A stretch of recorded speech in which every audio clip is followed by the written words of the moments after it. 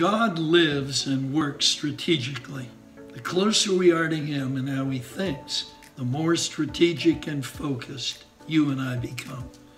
God thinks from the end to the beginning, from the macro to the micro. In Genesis 1 26 to 28, we see that God designed us to reflect and emulate the way He thinks so that we could rule with Him on earth. We were created to think the way our Heavenly Father thinks, not the way we naturally think. No one thinks as strategically as He does. Someone once asked me, if God loves me so much, why didn't He take me home to be with Him when I got saved? Great question.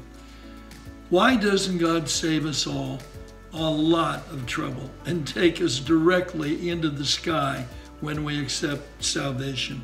The reason is really simple. The earth is our training ground, not only to walk out the implications of the covenant of salvation, but to grow in relationship and maturity as we learn to be good stewards and managers of resources.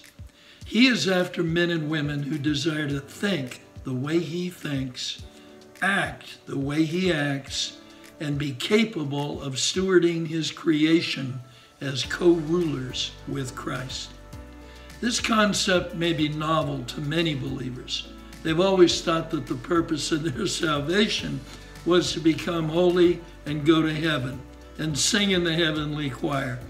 All these things have a place, but that is not the reason he saved us.